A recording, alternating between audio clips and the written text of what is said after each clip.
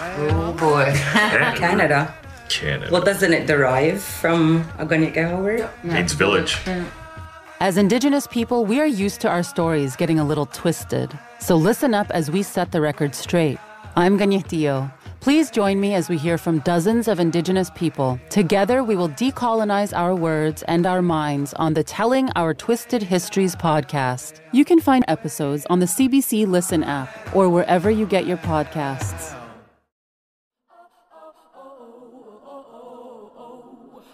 From the conversation, this is Don't Call Me Resilient. I'm Vinita Srivastava. I don't see the world as a trash fire. I see the world as relatives who are under incredible strain and who are in a lot of danger. And I think thinking about the world as a trash fire does an injustice to our relatives as well as to ourselves. Hi, welcome back to season two of Don't Call Me Resilient. I know we've all been stressed and anxious. Being in the middle of a global pandemic this past year has felt almost apocalyptic, reminding me of themes I've read about in dystopian novels. There are two Americas one where people are taking to the streets, risking their lives to protest racism and police brutality, and the other where citizens are storming their own capital. Here in Canada, we continue to find unmarked graves of Indigenous school children. All this against the backdrop of a series of life threatening and raging forest fires. How are we supposed to deal with all of this? How do we find the strength to get out of bed every day? How do we find the joy in these times? Today, I'm talking to two fiction writers who have given these questions a lot of thought. They say stories about alternate worlds can help us deal with and critique our own world. Daniel Heath Justice is a Colorado born member of the Cherokee Nation and the Canada Research Chair in Indigenous Literature at UBC. He is the author of Why Indigenous Literatures Matter, as well as the epic trilogy The Kinship Chronicles. Also joining us is Selwyn Seyfu Hinds. Selwyn is an LA based screenwriter and producer. He's been writing comic books and screenplays for a decade, including episodes for Jordan Peele's The Twilight Zone. Selwyn is currently adapting the award winning fantasy novel Washington Black by Esi Edugyan, which won the Scotiabank Giller Prize in 2018. Welcome to both of you. Good morning. So, Daniel, it's been a heavy few months or a heavy few years in the real world or um, our wounded world, as you've called it. What does it mean to create a different world in these times? Uh, I think we need anything that will give us strength and hope and that helps us see the world through a lens of wonder and not despair. A lot of people say, "Oh, the world is a trash fire," and you know, there's that meme that goes along with the the little dog drinking coffee at the table, and everything's on fire, and the little dog saying, "This is fine." Um, and I think about that image a lot, but I I think for me, I don't see the world as a trash fire. I see the world as relatives who are under incredible strain and who are in a lot of danger. And I think thinking about the world as a trash fire does an injustice to our relatives as Mm. well as to ourselves. So I think thinking about other worlds and other possibilities aren't just about kind of fantasy possibilities, but actual other worlds that exist alongside us now and that can hopefully help make what we're doing mean more and maybe make a difference in the lives of those around us and not just the human lives. Now, you're not talking about other worlds like parallel universes, or are you talking about other worlds like other possibilities? I think both. Mm. Um, you know, I think part of it is we're imaginative and creative people, and it's not just about the world that we've inherited, you know, and it's a really cruel and painful world that we've inherited. But there are so many other inheritances that we have, and that we have the the not only the right to hold on to, but the obligation to.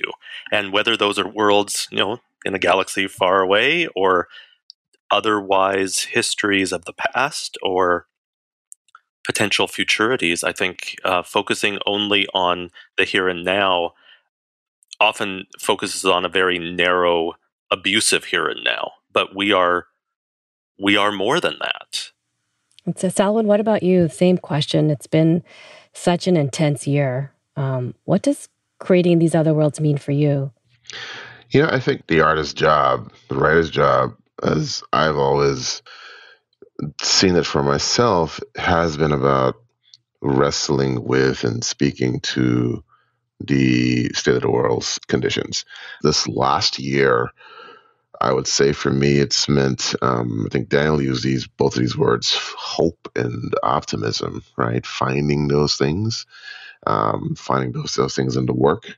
I have been lucky enough to be writing a show in Washington Black, whose I'd say central philosophical tenet is is optimism, is hope, because it's a story of a young boy who, you know, whose story, whose narrative begins in a plantation in Barbados in the 19th century and goes to heights of magic realism and steampunk magic as he journeys around the world and finds his agency and finds his manhood and, and, and finds himself. And I think when I was pitching that show to networks, one of the phrases that I used was, you know, there's a universality in this because there's universality in the idea that the sun eventually rises, right? That night becomes dawn, um, and that we we all identify with the journey from despair to optimism. So I think that's been an essential part of my own work for decades, but particularly this last year, it's been much more tangible. Daniel, a lot of people use the labels futurism or speculative fiction, but I know that you don't love using those terms. You call these kinds of stories wonder works. Can you explain why? Yeah, it's not that I don't like them. I think they're really important terms. But I think when we're talking about indigenous imaginings, they're really limited. Um, mm-hmm. There's a really uh, some amazing work happening in indigenous futurisms, and that's a different kind of thing. But it's it's definitely looking to see indigenous peoples in the future and not just relegated to the past. But Wonderworks for me takes up our worldviews you know, in in so much of Western culture, the idea of animals speaking is seen as fantastical, mm-hmm. or you know, trees having teachings to share is seen as fantastical. But in our in our traditions, these aren't these aren't fantasy. These aren't speculative. These are realities. Um, and you know, all all peoples have language. Not all peoples are human. I think Wonderworks is also just a beautiful way of putting it. Thank you. I, I have to say, it originally comes from an old PBS series where they would show dramatizations of classic literature when I was a kid, and it was called PBS Wonderworks, and that always stuck with me. So I did something a little bit different with it, but I, I can't say that I I coined it. I just repurposed it. Ah, That's super cool. Thanks. If I can ask, what's your origin? Like, what got you interested in Wonderworks, Daniel? What got you started? I've always loved fantasy. I've always loved the world beyond the world of now. Right. I grew up in a little mining town in Colorado, and uh, it was a hard place to hold on to dreams. And I was a very, very dreamy kid. And I was really fortunate that I had parents who indulged that you know, my dad was native and my mom was white, and we were one of the very few mixed race families, but very similar to other people in the, you know that working class town. And so there were some things that were different about my family and some things that weren't. And so there were always other worlds at play and other um, experiences. And I think from the very beginning, I loved telling stories. I loved thinking about other possibilities. I longed for worlds where my weirdness wasn't seen as a deficiency and where nerdy fey kids like me could be heroes and not relegated to villains or sidekicks or you know the slaughtered ones right Um, so yeah, Oh, from the very beginning, I've I've always loved these things. Selwyn, I see that you're sort of nodding and saying yes. Do you, can you relate to this? What got you started exploring the alternate Mhm. realities? Daniel's story kind of resonates because I think so much of who we are is rooted in where we're from, right? And um, for me, I was a kid who grew up in the nation of Guyana in the 70s. You know, this is an environment where there's no television, where you're reading for your, you know, information, and you're also reading the things that are both local to the country and that come from sort of, you know, the great external sources, which for us were the US, the UK, and India. So I read a very particular mix of fantastical work as a kid. You know, I remember being eight years old in a school playground reading Giant X Men number one from Chris Claremont, right? Um, that was my introduction to comic books. I was also reading, there was a line of comics whose title I don't remember, but they were from India and they essentially were narrative retellings of myths of the Hindu pantheon, right? So all the gods of the Hindu pantheon are these Homeric style stories, right? And um, I think they were called ASK comics. I can't remember, but they were extraordinarily influential, to, you know, you know, to me as a kid. And you know, I was that kid who I'd prefer to stay in during lunch hour in the, in the corner of the cafeteria reading a book, you know. Um, and so, but a, a, adapting to some of the social mores of American culture vis-a-vis kids who look like us who read um, was its own sort of adventure, if you will. But you both use superhero elements in your writing. So, Daniel, I know that you created a character with rage so powerful that they can uproot trees. And Selwyn, one of yours in the Twilight Zone episode, can see the future. What do those superpower elements allow you to do or say that you couldn't otherwise? Yeah, I mean, look, some of it, a lot of it tracks back to, in a, uh, for my case, I probably for Daniel too, like that childlike imagination that we have to retain to write the things we write today. You know, I was always a kid who was running around, you know, arms spread akimbo, believing I could fly, right? And what I've been able to do professionally is find the ways spiritually and metaphorically to fly, you know? So I think that ability to create worlds and create characters where you stretch the limits of the imagination just harkens back to those, you know, sort of childhood ambitions that um, I think we've been fortunate enough to manifest as professionals. Yeah, absolutely. You know, and I, I was thinking, Selwyn, when you were talking about some of those early comic books, Mhm. there was one that I was just completely enchanted by, and it was called Elf Quest. Mhm. And you know, it's these elves. You know, there's one group of elves who ride around on wolves, and then they encounter these elves who live in the desert, and they've Mhm. got brown skin. Mhm.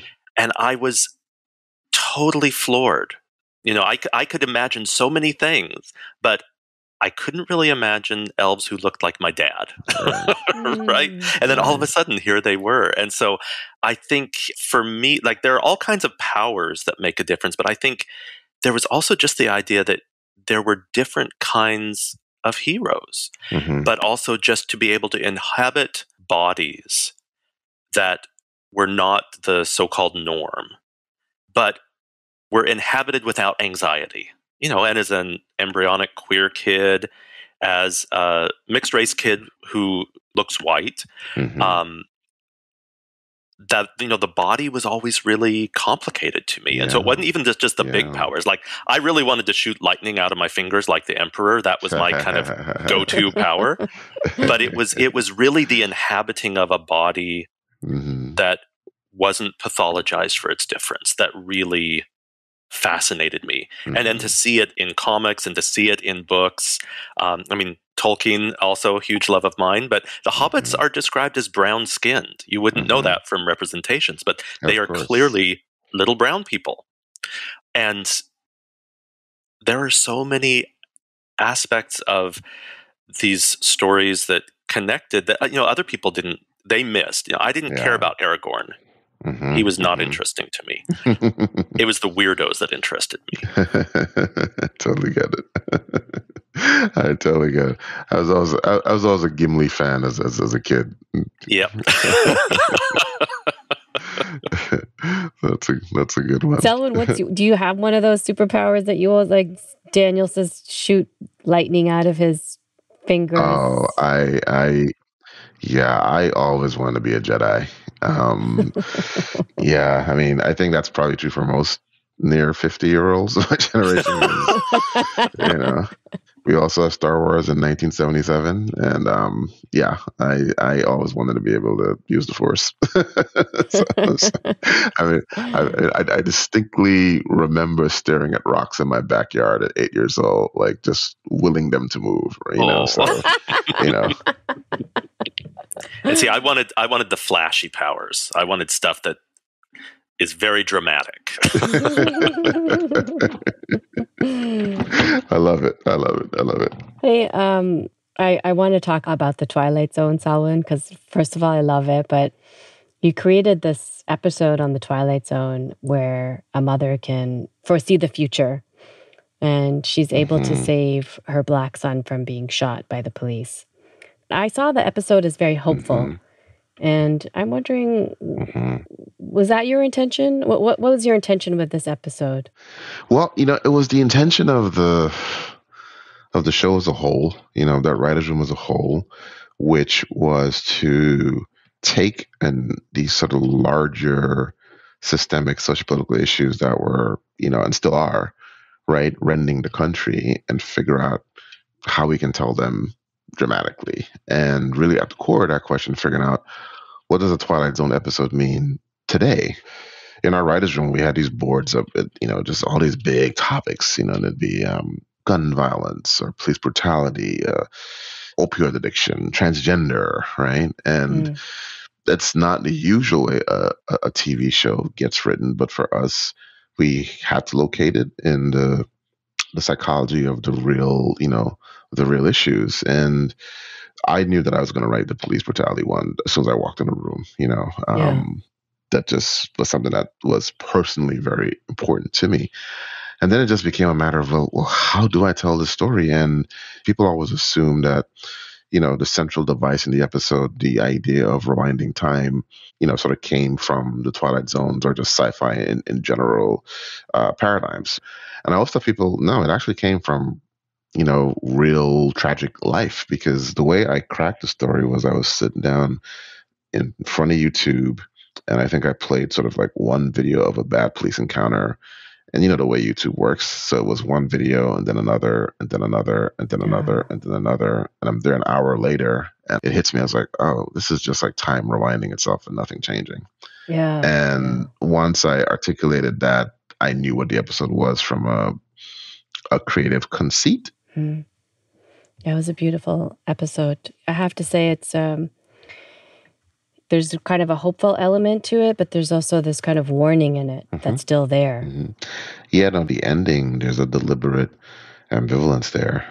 And it was it was funny. Like the ending was one of the most difficult parts to land. Like how exactly do we get out of the story? What is the right emotion? What is the right look on the actor's face? What is the you know the right story beat? Um, I went back and forth for, for days on that, trying to figure that out with uh, Jordan Peele. And um, I think the one that we landed on was just the right note. There's a sense of is the story branching left or right?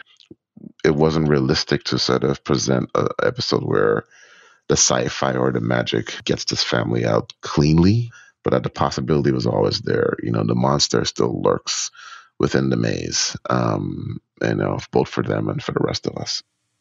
Hmm.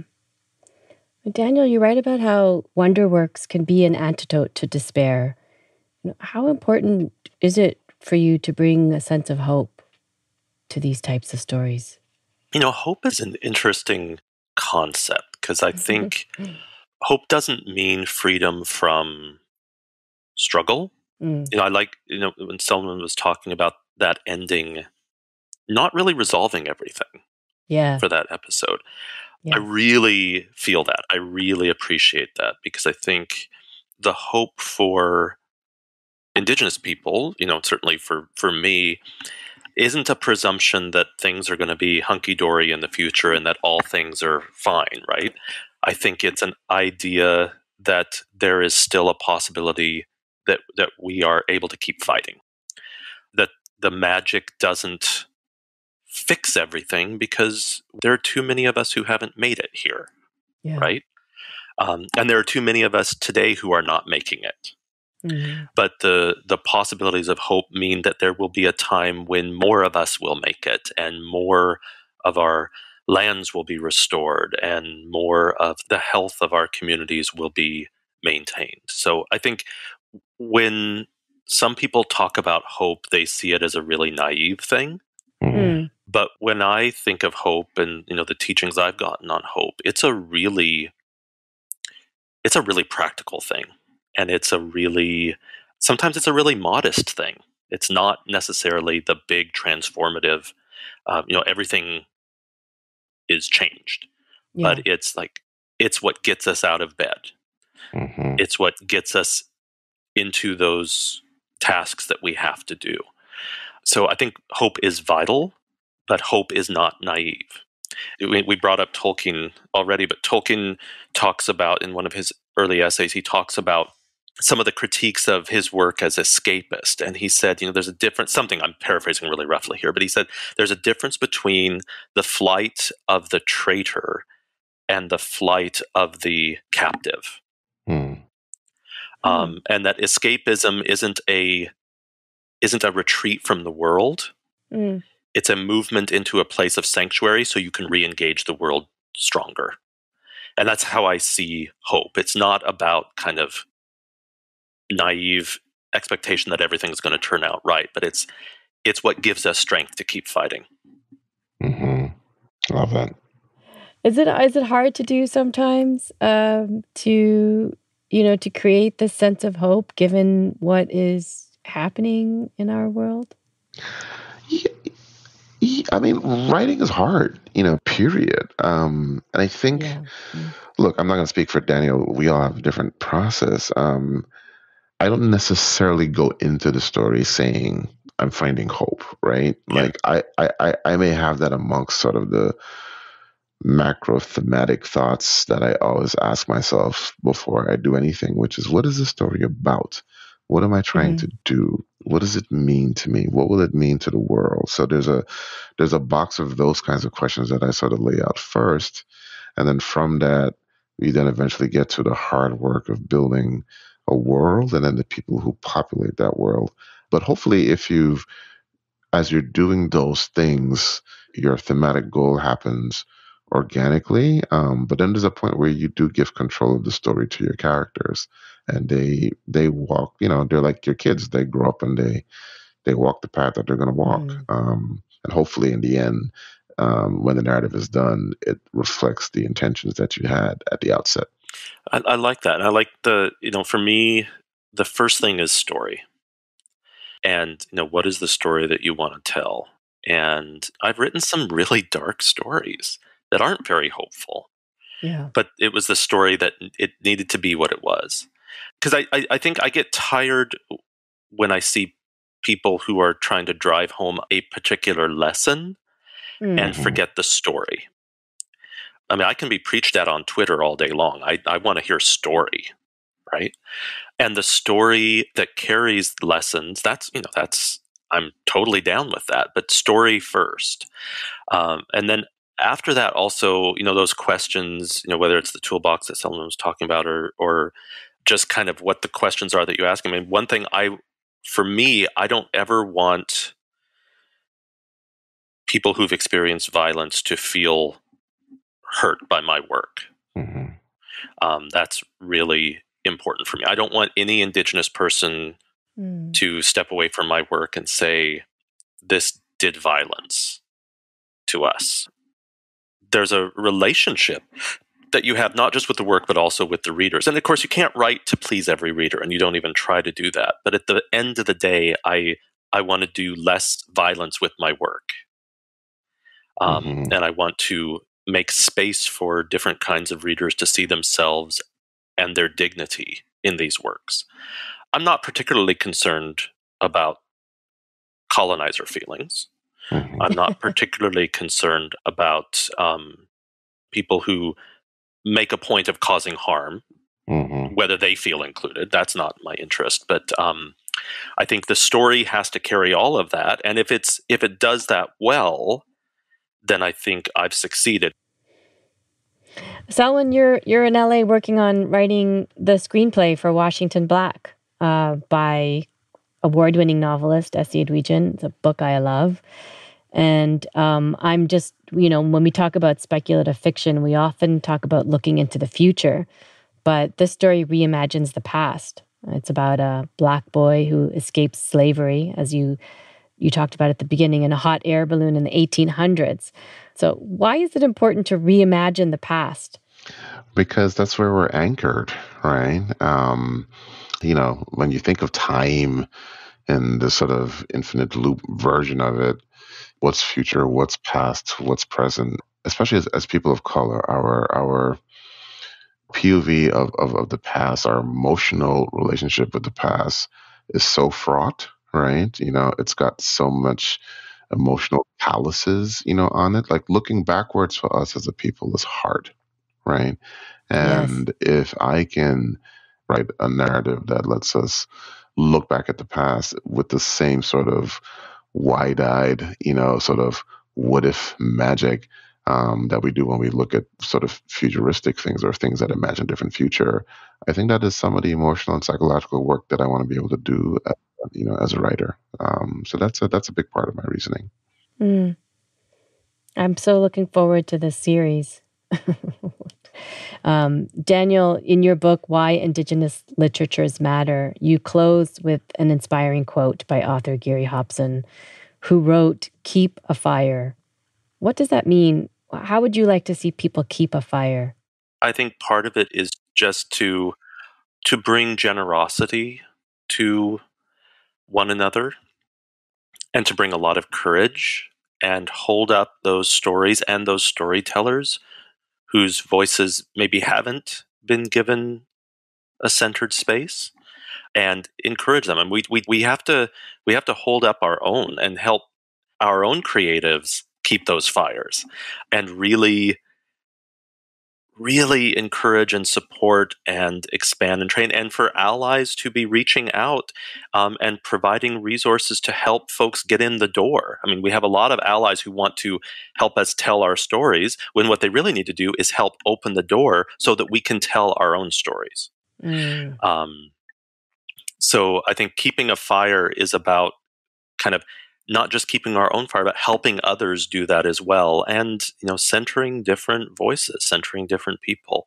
um, not having the same limited range of stories being told. And I think you know we're seeing much more of that, but we need to buy those books from black writers and from indigenous writers and from trans writers and a whole range of writers. We need to, you know, if we really believe in a range of representation, we need to bring our support to that and not just know, ask for more inclusion in Harry Potter or whatever. Selwyn, how about you? How do you keep a fire? well, you know, I think it's unfortunately relatively easy to keep a fire because there's so much in the world that sort of jags at my consciousness as a writer. You know, there's so many things that you want to engage with. And even if it's not the sort of direct on the nose engagement. I'm writing about X thing in X manner. You're still influenced, motivated, inspired by, and moved by real world events that you then want to explore in your art.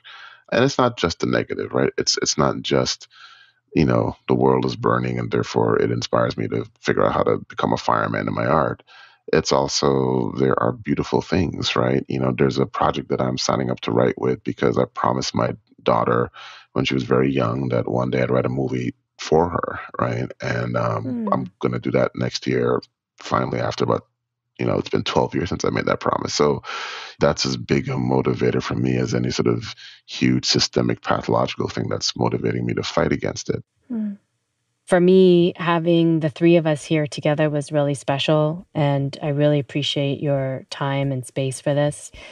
This idea of, of, you know, having both of you here, two people I really admire a lot. Both of your work is really special to me.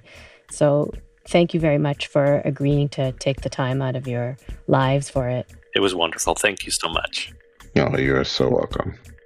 That's it for this episode of Don't Call Me Resilient. Lots of hopeful and important ideas from Selwyn Hinds and Daniel Justice to think about. We'd love to hear what you're thinking after our conversation. I'm on Twitter at WriteVinita. That's at W R I T E V I N I T A. And don't forget to tag our producers at ConversationCA. Use the hashtag Don't Call Me Resilient. If you'd like to read more about Indigenous and Black writers building other worlds, go to theconversation.com slash ca. We have all kinds of information in our show notes with links to stories and research. Finally, if you liked what you heard today, please help spread the love. Tell a friend about us or leave a review on whatever podcast app you're using. Don't Call Me Resilient is a production of The Conversation Canada. It was made possible by a grant for journalism innovation from the Social Science and Humanities Research Council of Canada. The series is produced and hosted by me, Vinita Srivastava. Our producer is Susana Ferreira. Our associate producer is Ibrahim Daair. Reza Dahya is our incredibly patient sound producer, and our fabulous consulting producer is Jennifer Moroz. Lisa Varano leads audience development for The Conversation Canada, and Scott White is our CEO. And if you're wondering who wrote and performed the music we use on the pod, that's the amazing Zaki Ibrahim. The track is called Something in the Water. Thanks for listening, everyone, and hope you join us again. Until then, I'm Vinita, and please don't call me resilient.